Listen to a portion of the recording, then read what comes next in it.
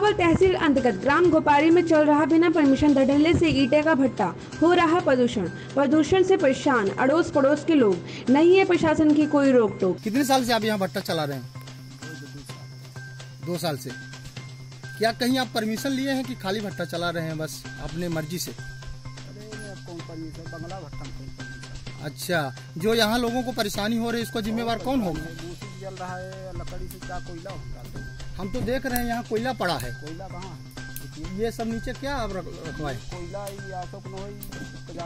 दूसरी पूरा कभी भी आप कोयला यूज़ कर रहे थे। कोयला नहीं तो ये नीचे जो पड़ा है वो किस चीज़ का? है? है, है,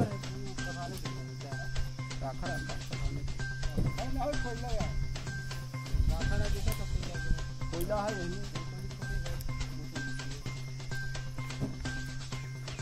ये कोयला से जलाते हैं ईटा? कोयला भेजू सब। लकड़ी। कोयला लकड़ी भूसा ये जो है तो हिसाब से लगाएँ। ऐसा ना करें कि एक अट्ठे दस बट्ठा लगा दें तो मैंने वो भी आई है इनमें से बहुत बड़ी क्षति है।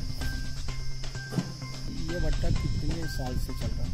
लगभग तीन साल से। ये भट्टा चल रहा है और आप का मकान यहाँ से कितनी दूर है? लगभग यहाँ से दस पाँच फल्ला है यहाँ से तो आप लोग इसमें कितने प्रभावित हैं? अरे यहाँ कम से कम दस लोग दस घर। प्रभावित हो रहे हैं। इससे आपको क्या दिक्कत हो रही है? इससे बहुत प्रदूषण होता है गर्मी होती है। हम्म, इतना माने तापमान बढ़ गया है रात में दिन में तो छोड़िए रात में भी नहीं जा सकता। हम्म।